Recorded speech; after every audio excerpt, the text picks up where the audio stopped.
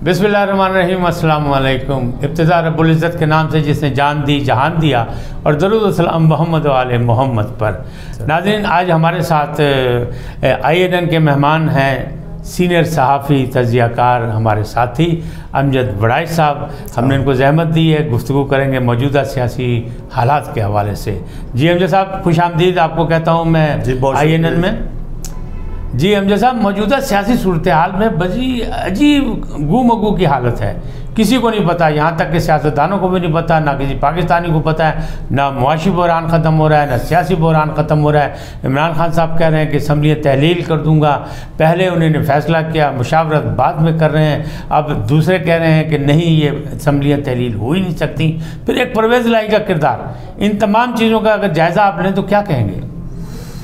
जी नकी साहब एक तो आ, मैं समझता हूँ कि ये बड़ी बदकिस्मती मैं तो इसको कहूँगा कि आज से तीस साल पहले भी जब हम साफत करते थे और पच्चीस साल पहले बीस साल पहले तब भी जो सियासी बहरान है वो इस तरह होते थे और हमेशा उसको हम लिखा करते थे कि बड़ी मुल्क में एक अफवाहें बड़ी बहुत जो है ना मिल्स और लिखा करते र्यूमर्स मिल्स हाँ। चल रही हैं और फिर साथ अफवाह साथ कि बड़ी गैर यकीनी सूरत हाल है ये हमेशा से अलमिया हमारा रहा है और इसके उल्ट अगर ये भी सारे सियासतदान मानते हैं, ख़ुद कहते हैं, किसी भी पूछे, ख़ास तौर पर जब वो गवर्नमेंट में होता है, फिर वो कहता है, जी, मुल्क में सियासी इसकाम होगा तो मुल्क तरक्की करेगा, अगर वो नहीं होगा तो मुल्क को बड़ा नुकसान होगा। और जब वो अपोजिशन में होते हैं तो फिर वो सियासी अदम इसकाम पैदा करने की कोशिश करते हैं। हमेशा से ये रहा और आज भी मैं ये समझता हूँ कि हमने दुनिया से कुछ नहीं सीखा। हमारे साथ जितने मुल्क थे, हमारे पड़ोस पड़ोस में, वो भी बहुत हमसे आगे निकल गए। लेकिन हम अभी वही खेल, उसी तरह के खेल रहे हैं। अभी ये जो आपने बात की, बड़ी चूँकि इमरान खान साहब ने अनाउंस कर दिया कि हम असम्बलियाँ तोड़ देंगे, मकसद उनका ये था कि असम्बलियाँ अगर तोड़ेंगे तो गवर्नमेंट मजबूर हो जाएगी इलेक्शन करवाने के लिए। अब इसमें बड़ी टिकी सी सिचुएशन बन गई है। वही गैर यकीनी की सूरत मैं समझता हूँ कि ये ख़ुद पीटीआई के लिए भी मेरी बहुत से पीटीआई के लोगों से बात हुई है। वो भी उनको भी यकीन नहीं है कि अगर हम असम्बलियाँ तोड़ देंगे तो कौमी इलेक्शन हो सकेंगे या नहीं। ज़्यादा अच्छा, इसमें आप क्या समझते हैं? साहब ये अन ईवन विकेट है यानी सियासी इस वक्त कि कोई पता नहीं लग रहा है कि बाउंसर कब आएगा, गोगली कब खेली जाएगी, क्या होगा? या खिलाड़ी नाकाम है और अच्छे बासलाहियत नहीं है। जी, मैं समझता हूँ कि खिलाड़ी नाकाम है और ख़ुद इमरान खान साहब जो सबसे लीडिंग प्लेयर है इसमें, वो भी उन, बाज़ाहिर लगता है कि पूरे सिस्टम की जो कमान है उनके हाथ में, लेकिन एक्चुअली उनके हाथ में भी नहीं है। और वो ख़ुद कॉन्फिडेंट भी नहीं है कि जो वो कर रहे हैं, उसका नतीजा वही निकलेगा जो वो चाह रहे हैं। और दूसरी बात यह है कि मैं जो कह रहा हूँ कि उनके हाथ में नहीं, आपको भी पता है कि चीफ प्रवेश लाई की आपने बात की कि वो चीफ मिनिस्टर हैं, सवाई असम्बली पंजाब की तो वही तोड़, तोड़ेंगे, अगर तोड़ेंगे तो। तो चीफ प्रवेश लाई बड़े वाइज आदमी हैं, जो उन्होंने मशवरा दिया इमरान खान को, और बड़ा उसमें बहुत सी वज़न वाली बातें हैं कि जी अगर आप इस स्टेज पे असम्बली तोड़ देते हैं तो आपकी तो आप खुद जख्मी आप तो कैंपेन भी नहीं कर सकते। तो कंपेन कौन करेगा? और जो ही असम्बलियाँ टूटेंगी, नवाज़ शरीफ पाकिस्तान में आ जाएँगे और सिचुएशन उस वक्त बदल, बदलना शुरू हो जाएगी। चूँकि वो भी अपनी जगह पर मजलूम मजलूम खेलेंगे, आप भी मजलूम मजलूम खेलेंगे। तो दो जो मजलूम हैं, आवाम को उनमें से फैसला करना है कि वो किस मजलूम का साथ दें। अच्छा आप ये बताइए कि एक तरफ़ इमरान खान साहब भी कह रहे हैं और हुकूमत भी कह रही है कि उनकी जान को ख़तरा है। अभी भी उनकी जान का ख़तरा लाक है। उनकी सिक्योरिटी चाहिए। अगर ये असम्बलियाँ तोड़ देंगे, पंजाब में हुकूमत ख़त्म हो जाएगी, निगरान हुकूमत आ जाएगी तो उनकी सिक्योरिटी का क्या बनेगा? के के भी के में टूट जाएगी, फिर उनकी सिक्योरिटी का क्या बनेगा?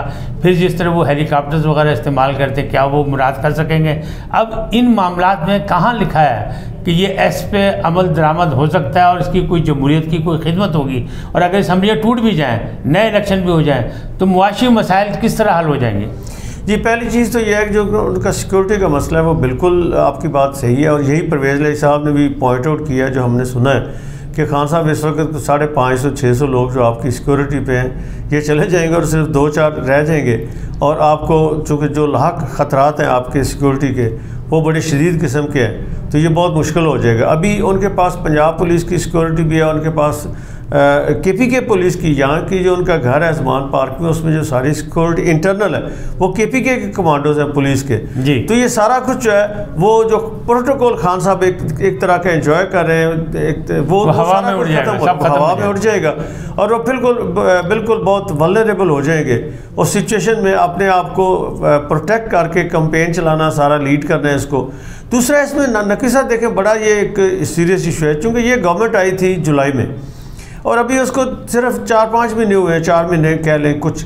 तो वो जो इन्होंने इनिशिएटिव लिए, जो डेवलपमेंट प्रोजेक्ट्स किए, वो सारे के सारे अभी रास्ते में हैं। जितनी भी तेज़ी ये कर लें वो जब तक प्रोजेक्ट्स मुकम्मल नहीं होते, मैं अभी कल ही गुजरात में था, और वहाँ लोग बेशुमार लोग, वहाँ जर्नलिस्ट इकट्ठे हो गए, कोई पच्चीस, तीस जर्नलिस्ट उन्होंने मेरे साथ, बड़ी अच्छी वहाँ पे सीटिंग रही।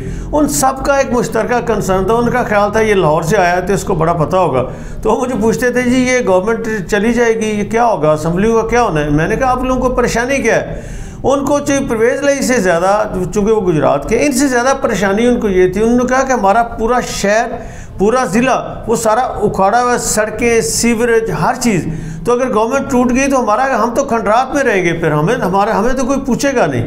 तो ये जो इन्होंने प्रोजेक्ट शुरू किए हुए हैं, गुजरात में हो या पूरे पंजाब में कहीं भी, देखिए इनके जो एमपीएस या वर्कर्स हैं पीटीआई के, इनको बुजदार साहब के दौर में वो वेटेज नहीं मिली, जो अब उनको समझ आई है कि गवर्नमेंट के, गवर्नमेंट का फल क्या होता है। गवर्नमेंट अगर आपकी हो तो उसके नतीजे में आपके काम किस तरह होते मतलब हैं? सियासी अंदाज क्या होता है? सियासी अंदाज क्या होता है? इन्होंने अब कह ले दर्जनों लोगों को हर अहदेदार को कोशिश की किसी को किसी शिकायत सेल का इंचार्ज बना दिया किसी को टास्क फोर्स का किसी को एडवाइज़र बना दिया। तो वो ताकि वो जो लो वर्कर है वो उसको एक एक्नॉलेजमेंट एक स्टेटस उसको लोकल लेवल पे मिल गया और लोगों को ओब्लाइज करना शुरू हो गया काम करना शुरू हो गया। तो पार्टी के अंदर एक नई तरह की जान एक तरह से कह लें कि पैदा हो गई है। तो ये जो सारी सिचुएशन है। ये इस वक्त अगर इमरान खान साहब ये भी यकीन नहीं है कि असम्बलियाँ तोड़ें तो कौमी इलेक्शन हो जाए।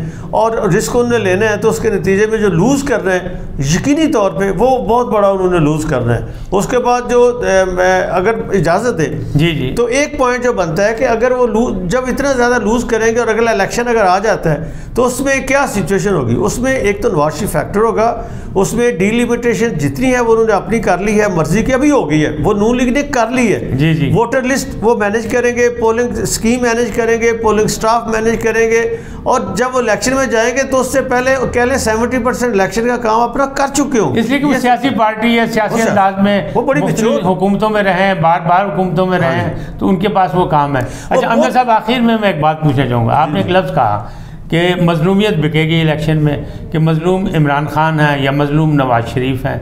तो अगर आप माजी में देखें आप 30 साल से 40 साल से जर्नलिज्म कर रहे हैं हमने भी देखा है आपने भी देखा है पीछे तो सियासी रहनुमाओं पर बहुत ज़्यादा जुल्म हुआ करते थे।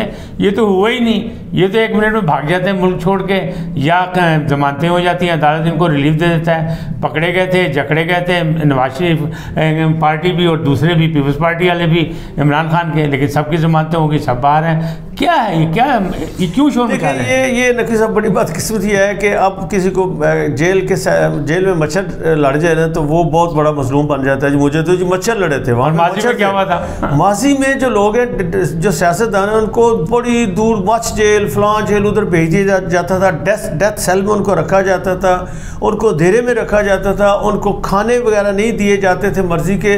और उनको भगत सिंह की जो सारी भगत सिंह किस वजह से शहीद हुआ? मैं तो उसको शहीद वो सियासी कैदियों के हकूक़ के लिए उसने वो कहते हैं जी हमें कम अज़ कम को अखबार दे दें या हमें ये ये छोटी छोटी छोटी छोटी सहूलतें थी खाने शाने इस तरह की। और उस वक्त की गवर्नमेंट ने मानी थी मानी थी। वहाँ से ये सियासी कैदियों के लिए रियायतें हासिल करने की तहरीक जो थी जिसका पहला वो शहीद था वो हमने देखे हमारी ज़िंदगी में ऐसे लोग हैं। नवाबजादा नसरुल्लाह थे मुफ्ती महमूद थे वली खान थे जहूर लाई थे। इन लोगों ने बड़ी बड़ी जेलों में कुर्बानियाँ दी हैं बड़ी मुश, मुश्किल हालात गुजारे हैं। फिर कहीं जाके लोग उनको मानते थे कि हाँ वाकई इसने ये कुर्बानी दी है हमारे लिए मजलूम है। वरना ये जो आजकल के मजलूम है ये तो पता नहीं बस अल्लाह हाफज है हमारा। अमजद साहब जुल्फ़ार अली भुट्टो फांसी पे चढ़ गए। आप उनसे इख्तलाफ करें हिमायत करें इतफाक़ करें ना करें ये एक अलग बात है लेकिन सियासी तहरीक में वो मारे गए और सियासत ही जो उनका उड़ना बिछवाना थी और उन्होंने पूरी तहरीक आवाम को बेदार किया चलाया। अब भी ये कह रहे हैं कि हम बहुत मकबूल तरीन लीडर हैं बहुत कुछ हम कर रहे हैं लेकिन मामला कोई हल होते नज़र नहीं आ रहे। अफसोसनाक बात ये जैसे आपने कहा कि अफसोसनाक बात है कि जुम- ना जमहूरियत आगे बढ़ रही है ना मुआशी इसकाम आगे बढ़ रहा है। अंजय साहब आपने हमें टाइम दिया बहुत शुक्रिया हम आपके शुक्रगुजार हैं। उम्मीद है फिर दोबारा इस नशित में और मज़ीद बातें करेंगे। आपका एक बार फिर शुक्रिया। आईएनएन की तरफ़ से, पूरी टीम की तरफ़ से। अल्लाह हाफिज़। नाजिन, आपने सुना, अमजद साहब क्या कह रहे थे? अमजद साहब का अपना एक तजुर्बा है। उस तजुर्बे के हवाले से ही सारी बातें कर रहे थे और एक बाकायदा जो वर्किंग जर्नलिस्ट हैं, उस हैसियत से इन्हें सारी सियासत देखी है, माजी की भी, मौजूदा भी, अब भी। इस वक्त जो सियासतदान हैं, माफ़ी चाहता हूँ, माजी के हवाले से ये तो सिर्फ़ पाटे खां लगते हैं, शेख चिल्ली लगते हैं, मुख्तलिफ़ बातें करते हैं, लेकिन उस पर अमल दरामद नहीं करते हमारी और आपके लिए दुआ यही है कि अल्लाह ताला पाकिस्तान को istehkam दे, तरक्की हो, खुशहाली हो, आवाम के रिलीफ की कोई बातें हों और जमहूरियत आगे बढ़े। इसके साथ ही इजाज़त चाहूँगा। जाते जाते आपसे रिक्वेस्ट कि आई को सब्सक्राइब करें लाइक करें, घंटी का बटन दबाना ना भूलें और अपनी कीमती राय का इजहार अपनी शख्सियत के मुताबिक दें। अल्लाह आपको सलामत रखे। अल्लाह निगेबान।